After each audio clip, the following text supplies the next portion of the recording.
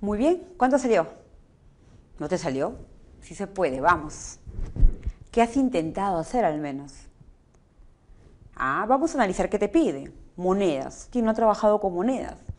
A continuación se muestra una secuencia de figuras formadas por monedas de un nuevo sol. ¿Cuántos nuevos soles contendrá la figura 20? Tú tienes acá figura 1, figura 2, figura 3, figura, figura 20. ¡Wow! No te vas a poner a armar todas las monedas. No creo que alguien haya hecho eso, ¿no? Imagínate, estás armando las monedas, todo el mundo se va del examen, tú sigues en tu prueba. No, hay estrategias para eso y aquí vas a aprender ello. A ver, ¿qué haremos? ¿Qué propones? Ya, numerarlo, ya, buena salida. Por ahí me dicen numerar. Yo lo voy a numerar, a ver. Si él es la figura número uno, yo acá tengo moneda, tengo moneda 1. Muy bien. Acá yo digo figura número 2, tengo en la base una y dos figuras. Ella es 2. Pero arriba, ¿cuántas tengo? Una. Muy bien.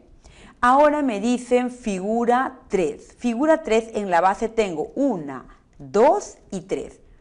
Acá coloco 3. ¿Y arriba cuántos tengo? Oh, mira. Una y 2. Mm, hay algo que se está formando aquí.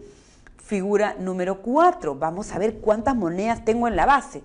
Oh, mira. 1, 2, 3, 4. 4. ¿Y arriba cuántas tengo? 1, 2, 3. ¿Qué estás observando? Que no la habías visto antes. Ahí estaba para que aprendas, ¿ves? Tienes que mirar, está fácil. Fácil es.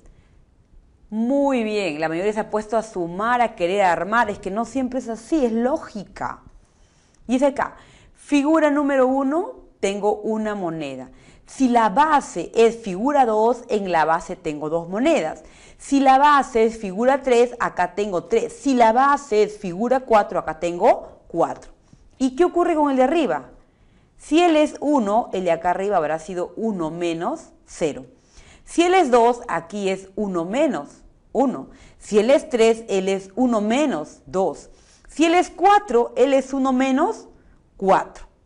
Suma y das el total de monedas, ¿sí o no? Acá hay 4, 5, 6, 7. 4, 7. Figura 3, ¿cuántas monedas hay? 3 más 2, 5. Pero ¿qué te pide problema?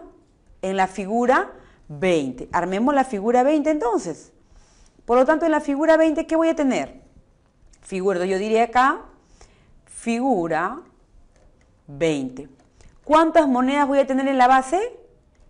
Muy bien, en la base, por, como es figura 20, voy a tener 20 monedas en la base. Y en la parte posterior, ¿cuántas monedas voy a tener? Muy bien, 1 menos, por lo tanto será 19. ¿Qué te pregunta? ¿Cuántas monedas habrá en total? En total, ¿cuántas monedas representan? 20 más 19, 39. Respuesta correcta, colegas. Sencillo, ¿ves? Sí se puede, vamos.